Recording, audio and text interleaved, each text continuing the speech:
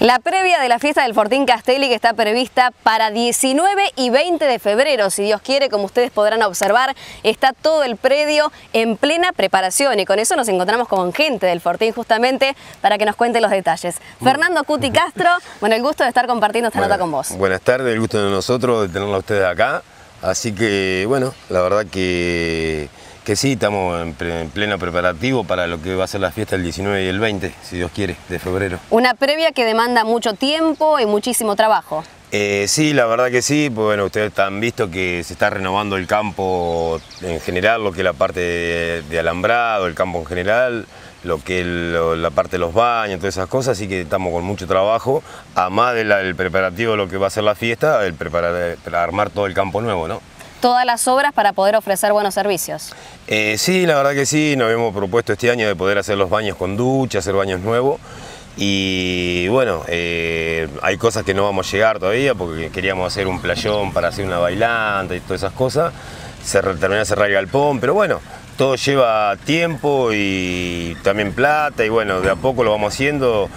También sabemos que tuvimos dos años parados sin poder hacer una fiesta y bueno, eh, hoy por hoy estamos creo que con todo el furor para, para el 19 y el 20, ¿no? poderle brindar todo lo mejor al público. Bueno, contanos un poco de cómo se va a desarrollar la fiesta. El día sábado, bueno, los pialadores van a tener que llegar todo en la mañana. Eh, sabemos que la pialada es por el campeonato de coche ludeña, en lo cual son equipos de cuatro personas, se va a cobrar mil pesos el lazo y va a haber 150 eh, mil pesos en premio.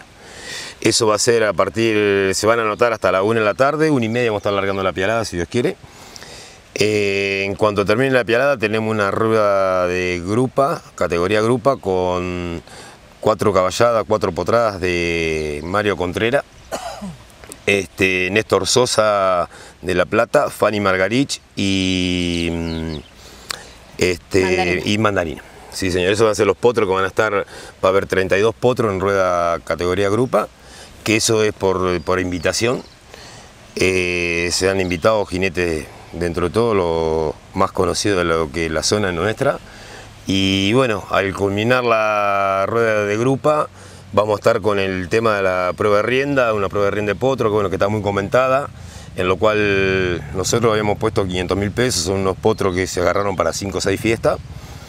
Este, y nosotros vamos a hacer eh, repartimos los premios, 300 mil pesos para el día sábado y después se va a correr el domingo eh, un repechaje por 200 mil pesos más el domingo a la mañana. ¿no? Eso más o menos va a ser lo que va a ser el día sábado, de, cuando, cuando, termine la prueba de rienda. Eh, vamos a estar con un baile que ya tenemos dos orquestas contratadas, que está Diamante 2 y el grupo La Vuelta y estamos viendo en un tercer grupo que, bueno, no, todavía no lo hemos confirmado, esta noche hemos confirmado un tercer grupo seguro para tener el día sábado en la noche. ¿Tiene una entrada opcional para quienes vayan solamente al baile? Eh, sí, eh, nosotros el día, a partir del día sábado a la mañana vamos a estar cobrando 1.500 pesos la entrada para los dos días de fiesta con el baile incluido. ¿sí? El sábado a partir de las 8 y media de la noche, las 9, se va a cobrar 500 pesos para todo aquel que quiera venir al baile. ¿sí? Este, así que la entrada al baile serán 500 pesos y después el día domingo ya se va a cobrar 1000 pesos nada más. ¿Sí? Porque bueno, cobramos 1500 el día sábado porque son dos días de espectáculo más el baile y el día domingo también tenemos un baile a la noche, así que este, creemos que es una entrada muy cómoda, ¿no? muy barata. Y el día domingo cobraremos mil pesos, en general. Una entrada accesible para toda la familia. Para toda la familia, que puedan venir a, lo que, a ver lo que es el, espectáculo del día domingo y quedarse al baile también en la noche, ¿no? Bueno, en cuanto al domingo, el espectáculo también es muy completo, muy tentador. Eh, sí, la verdad que sí. Este año, eh, en conversaciones de un lado del otro, entre todos los chicos de la comisión, eh, decidimos por ahí poder agrandar un poco lo que era la fiesta del Fortín Castelli. Y el día domingo, bueno, te lo a volver a repetir, tenemos el repechaje a las 7 y media de la mañana. Vamos a hacer una prueba de rienda de manso, en lo cual se van a, cobrar 2.000 pesos el dentro y todo lo recaudado en premio. ¿sí? Y después de la prueba de rienda de manso, vamos a tener un entrevero de tropilla, invitamos entre 15 y 20 tropillas de la zona que se han convocado para hacer una presentación de tropilla entrevero, encierre y un montón de cosas con lo bueno que es presentar una tropilla entablada, ¿no? Un espectáculo que es muy lindo y que por ahí no es muy usual en las diferentes fiestas, un espectáculo costoso. Sí, la verdad que sí, que un espectáculo que lo que lo hemos visto en otros lugares, un espectáculo muy lindo.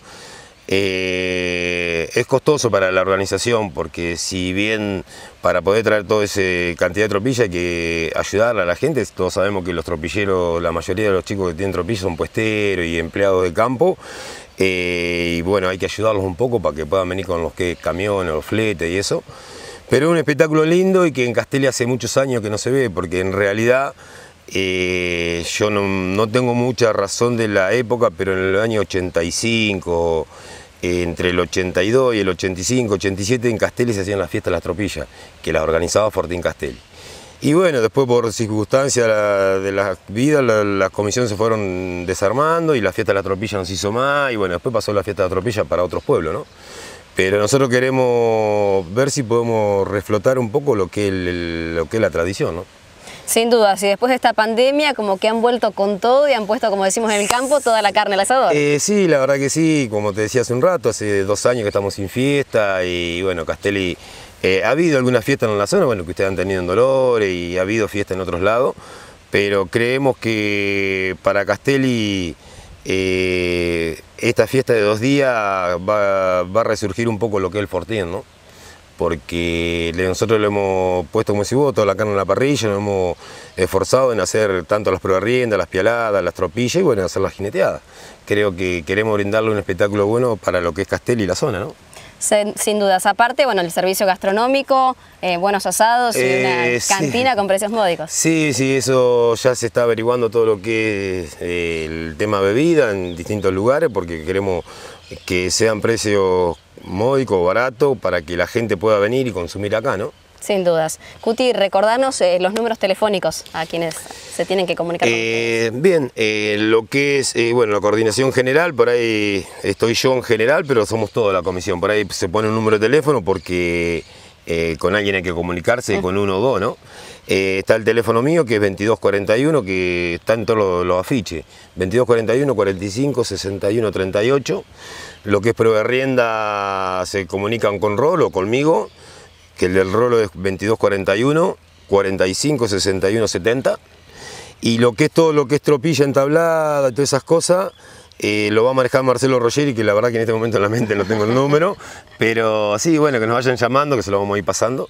Y otro teléfono que está en lista también, el de Ever Cejas, que es el vicepresidente del Fortín, y también, eh, si bien él por ahí no está tanto como nosotros, porque él eh, está empleado en un campo y bueno, mucho no anda por acá, pero sí están con el teléfono para todo lo que sea jineteada, todas esas cosas, también está en la comunicación para el público. ¿no? Trabajan en conjunto y se van delegando las tareas para que se alivian un poco más para se alivian un poco a todo. Y bueno, y después en general lo tenemos a Héctor Carmuse, que es el secretario del Fortín, y en lo cual él se ha hecho un poco cargo de lo que es la parte cantina, el baño y todo medio lo que fuera las cosas fuera del potrero del campo, de jineteada.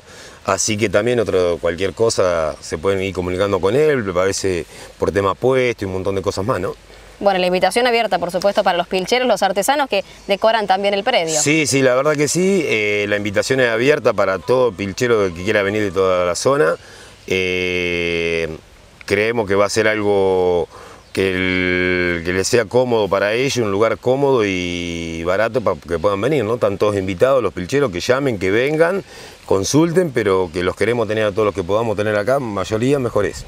Cuanto más seamos, mejor. Mejor, exacto, porque todos sabemos que tanto todos los espectáculos visten la fiesta, pero un pilchero también a veces, o pilchero, artesano, lo que es gastronomía, eh, todo lo hace a la fiesta porque eh, estas son fiestas en familia y todos, todos podemos trabajar, ¿no? Sin dudas. Bueno, 19 y 20 de febrero, si Dios quiere, la fiesta es en Castelli, bueno, con Rolo, que está a cargo de todo lo que es la prueba de riendas, con Héctor Carmuse, que tanto colabora, y con el presidente Cuti Castro, con quien conversamos, en nombre de ellos, por supuesto, el saludo para toda la gente de la comisión, y bueno, la invitación abierta para el tercer fin de semana de febrero, los esperamos a todos en este mismo predio en el Fortín Castelli.